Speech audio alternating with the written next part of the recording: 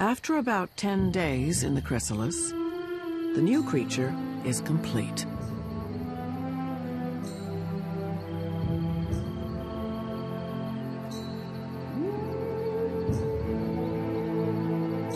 All traces of the caterpillar are gone. And in its place is a butterfly with four delicate wings.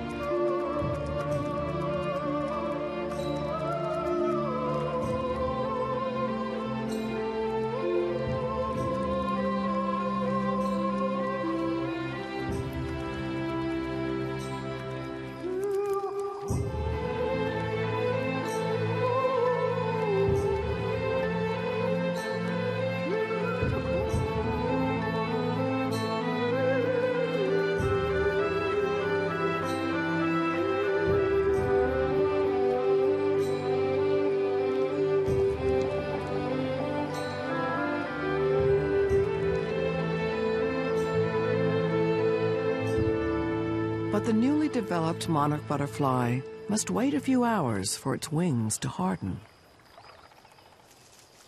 And then, finally, it can fly.